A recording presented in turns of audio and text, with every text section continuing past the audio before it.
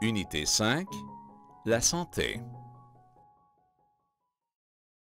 Votre santé mentale est aussi importante que votre santé physique et les deux sont liés.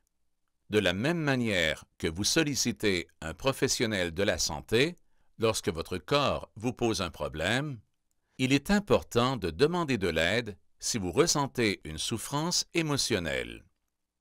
La santé mentale est la manière dont vous vous sentez, pensez et vous comportez au fil de votre vie. Cela désigne également la manière dont vous gérez le stress, la colère et la tristesse. Tout le monde peut rencontrer des problèmes de santé mentale. Ces derniers touchent des personnes de tout genre, de tout âge, de toute culture de tout niveau d'éducation et de revenus.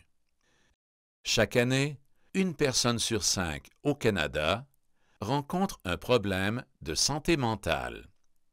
Voici certaines difficultés que les nouveaux arrivants au Canada peuvent rencontrer et qui pourraient peser sur leur santé mentale.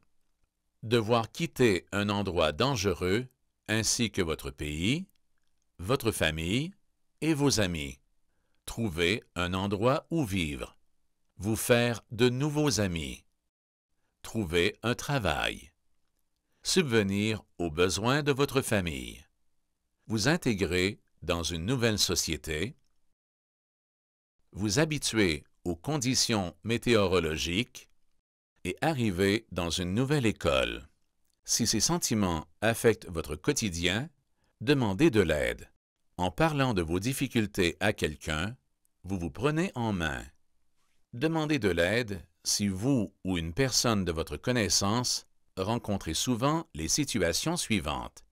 Tristesse ou désespoir, manque d'appétit, mauvais rêves ou flashback, insomnie, fatigue ou épuisement, frustration ou colère, inquiétude ou stress, solitude, isolement ou repli sur soi-même, ou pensée suicidaire ou d'automutilation.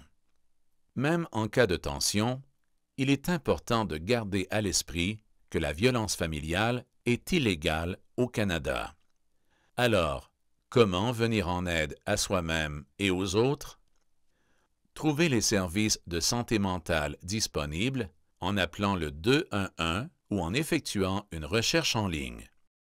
Vous pouvez également demander de l'aide à votre médecin de famille, à un infirmier ou à un travailleur social. Comment soulager une personne triste ou inquiète? Commencez par faire des choses qui sont source de détente et de joie. Voici quelques exemples. Cuisiner avec ou pour quelqu'un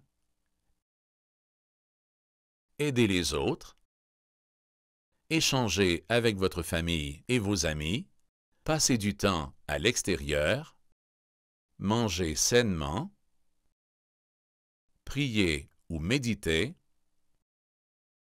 pratiquer un sport ou faire de l'exercice, parler à quelqu'un en qui vous avez confiance, vous concentrer sur les aspects positifs de la vie,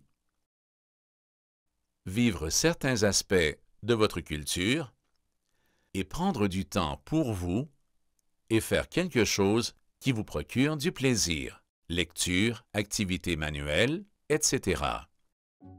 Il peut être difficile de prendre un nouveau départ dans un pays inconnu et s'adapter demande du temps il est normal de ressentir de nombreuses émotions à ce stade.